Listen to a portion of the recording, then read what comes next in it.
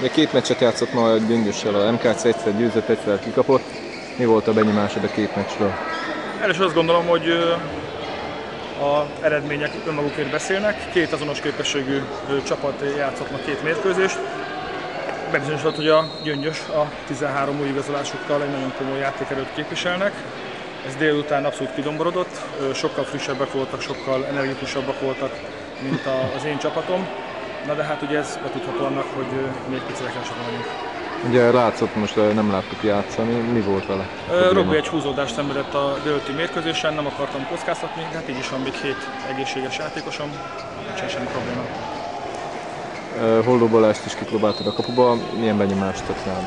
Balázsról tudni kell, hogy serdől válogatott, tehát 17 éves, délőtt is 10 percet védett, délután 4 órát védett, azt gondolom, hogy nagyon tehetséges fiatalember, és azért meg kell, hogy mondjam, hogy most itt a lehetőség a fiatalok előtt, és azt gondolom, hogy a mezőkövesdi KC-nak ez egy nagy értéke lehet, hogy ebbe a helyzetbe, amiben most vagyunk, vagy kerültünk, fiatalok nagyon sok lehetőséget kapnak, és többségében élnek is vele. Szerintem még kicsit példát is mutathatunk a, a többi klubnak, vagy csapatnak, hogy a magyar utánpótlás nevelésbe nem csak beszélünk, frázisokat mondunk, hanem tényleg mi gyakorlatilag is tesszük a dolgunkat. Mondom, nyilván kicsit kényszerpályán is vagyunk, de, de tényleg öröm, öröm látni, hogy négy tavaly még serdülőkorú játékos játszik a pályán. Első félben nagyon sok lövésünk volt, ennek javarészét fogta ugye Totai Olivér, másodikban viszont a fiatalok még kevésbé próbáltak kapura lövéssel. Igen, a Szabó Tobi a kapusa, a gyöngyösnek, kijavítalak, nem probléma. Igen, az első fél én is láttam, ez a pontatlanság, ez egyértelműen a, a fáradtságnak a jele volt. Az a hat játékos, aki elkezdte a mérkőzést, az a 27. percig két gólon tartotta a, a mérkőzést, három perc alatt meg négy gólt kaptunk. Nyilván az a hat gól a szünetben az már nagyon sok volt, ez egyértelműen a, a, a fáradtságnak a jelenét tudtam be, ebből a, tanulni kell ebből a hibából a másik félidőben a fiataloknak nyilván nem is volt mondva nekik, hogy most 10 méterről tüzeljenek, mert nem is képesek rá, nincs ilyen képességük, viszont nagyon szép, ügyes megoldást láttam, és a védekezésükkel kimondottan elégedett vagyok.